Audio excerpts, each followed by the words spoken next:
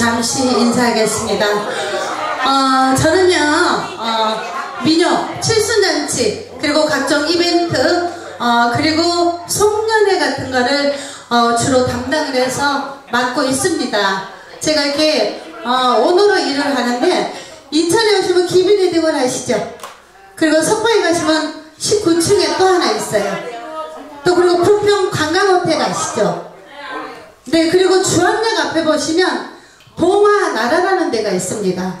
동화나라. 옛날에 뮤지컬 그 웨딩을 했던 자리인데 사랑병원 왼쪽에 있어요.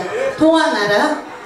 어, 제가 인천에서는 예전에는 사과나무 저기 송도에 그 코리아 웨딩을 어 그거는 이제 다 떨어졌고요.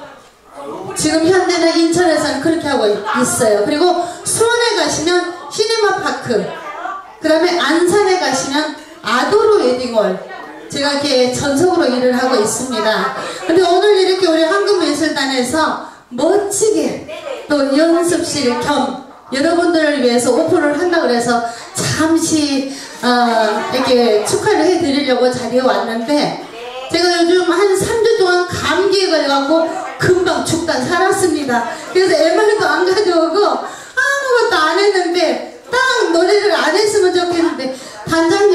할까요? 그래도 그냥 한 개만 해볼까요? 알겠습니다.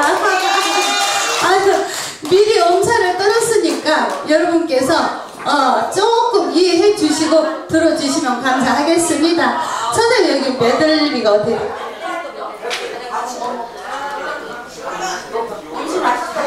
네,